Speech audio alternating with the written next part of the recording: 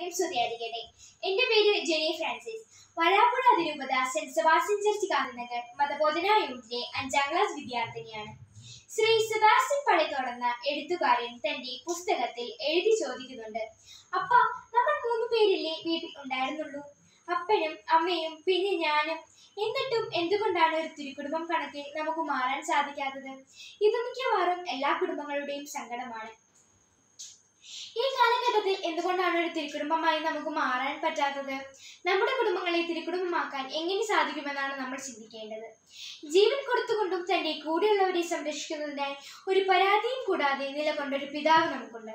വിശുദ്ധ ഔസ്യ പിതാവ്. അതുപോലെ തന്നെ ദൈവത്തിന്റെ ഇഷ്ടത്തിനനുസരിച്ച് ആമ എന്ന് പറഞ്ഞ് എല്ലാ സഹനവും ഏറ്റെടുത്ത് തയ്യാറായ ഒരമ്മയാണ് പരിശുദ്ധ മാതാവ്. അതിനോടൊപ്പം തന്നെ ഇവർക്ക് രണ്ടുപേർക്കും വിധിപ്പെട്ട് ജീവിച്ച ഒരു മകനാണ് ഈശോ.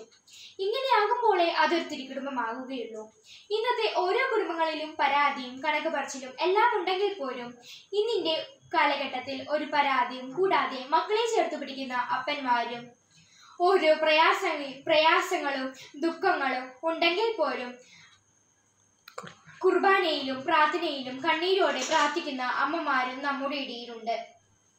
മുടക്കം കൂടാതെ പരിശുദ്ധ കുർബാനയിലും പ്രാർത്ഥനയിലും പങ്കെടുക്കണം. ഈശോയെ കൂട്ടുകാരനെ പോലെ കാണണമെന്ന് പറഞ്ഞു തന്ന എന്റെ അപ്പനും അമ്മയും ചേട്ടനും അമ്മാമ്മയും അടങ്ങിയ എന്റെ കുടുംബം തിരുക്കുടുംബം പോലെ ആവണമെങ്കിൽ ഞാൻ ഞാൻ ചില തീരുമാനങ്ങൾ എടുക്കണം.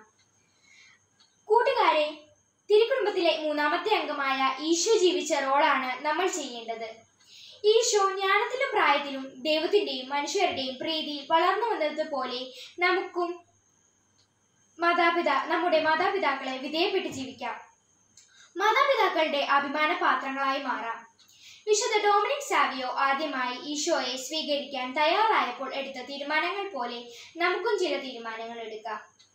ഒന്ന് ഈശോയെ കൂട്ടുകാരനെ പോലെ കൂടെ കൂട്ടും. രണ്ട് മുടങ്ങാതെ പരിശുദ്ധ കുർബാനയിലും പ്രാർത്ഥനയിലും പങ്കെടുക്കും. മൂന്ന് മാതാപിതാക്കൾ അറിയാത്ത ഒരു രഹസ്യവും എന്റെ ജീവിതത്തിൽ ഉണ്ടാവുകയില്ല കൂട്ടുകാരെ ഇനി ഒരു കുടുംബത്തിൽ നിന്നും എന്റെ കുടുംബം തിരുക്കുടുംബം പോലെ ആവാത്തത് എന്താണെന്ന ചോദ്യം ഉയരാതിരിക്കട്ടെ. ഓരോ കുടുംബങ്ങളിലെയും അപ്പന്മാർ ഔസ്യപിതാവിനെ പോലെ സഹനങ്ങളിലും ദുഃഖങ്ങളിലും ചേർത്ത് പിടിക്കുന്നവരാകട്ടെ. എല്ലാവിധ പ്രയാസങ്ങളിലും ഈശോയെ കൂട്ടുപിടിച്ച് പ്രാർത്ഥിക്കുന്ന മാതാവിനെ പോലെ ആകട്ടെ എല്ലാ അമ്മമാരും. കുഞ്ഞുമക്കളായി നമുക്ക് ഈശോയെ പോലെ വിധേയപ്പെട്ട് ജീവിക്കാം. നമ്മുടെ എല്ലാ കുടുംബങ്ങളിലും കൂടുമ്പോൾ ഇമ്പമുള്ളതാകട്ടെ. പരിശുദ്ധാത്മാവിന്റെ